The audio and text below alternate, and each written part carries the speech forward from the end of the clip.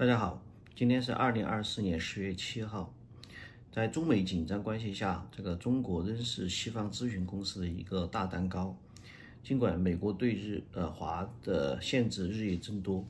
呃，中国政府对经济活动也更加保密，但西方咨询公司和审计公司对中国政府和国有企业承担了大量的工作。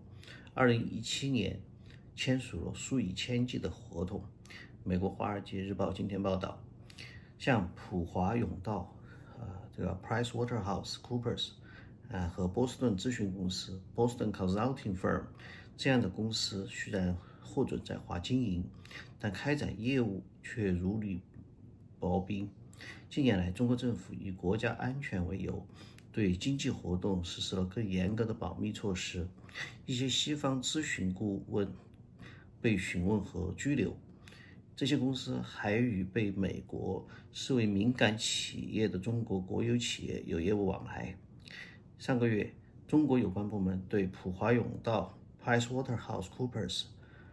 处以六千二百万美元的罚款，并勒令其暂停经营业务六个月，原因涉及该公司对恒大集团这个处于中国地产暴风眼的中国公司的审计。但根据《华尔街日报》看到的合同，在这项审计工作进行的同时，普华永道另一家在华公司获得了一份。与新疆地方政府签订的价值二十万美元的合同，而美国指责新疆存在着侵犯人权的行为。据一份合同表示，在美国政府试图限制中国在敏感技术领域取得进展的同时，波士顿咨询公司去年签订了一份价值约五十万美元的合同，在北京市政。官员提供建立 AI 中心的咨询服务。招标文献显示，美国西中北京西部的老钢铁厂区石景山区的官员要求波士顿咨询公司拥护共产党的原则，这样才能接下这个项目。为咨询行业提供建议的 Kennedy Intelligence 今年发布的一项。分析报告显示，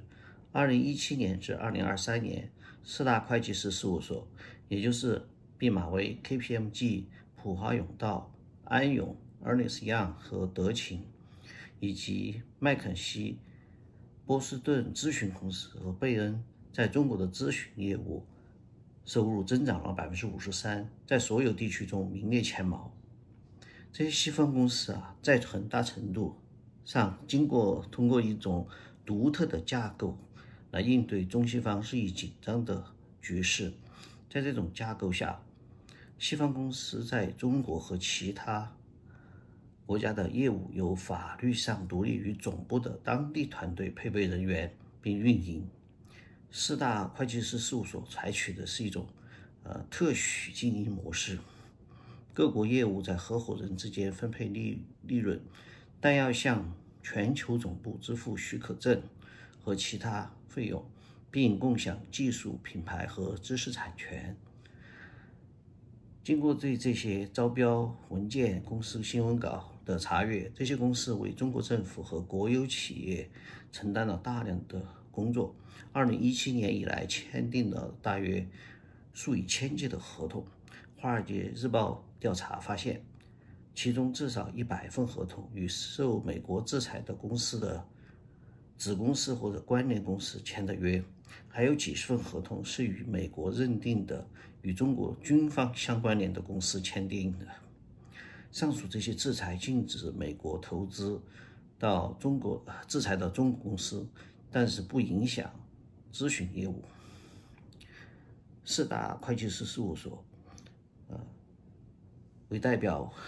以这个客户保密为由，拒绝回答相关合同的问题。波士顿咨询公司表示，该公司拥有强大的风险和合同的规系统，来确保我们的工作符合我们业务所在国的法律，并表示该公司的当地团队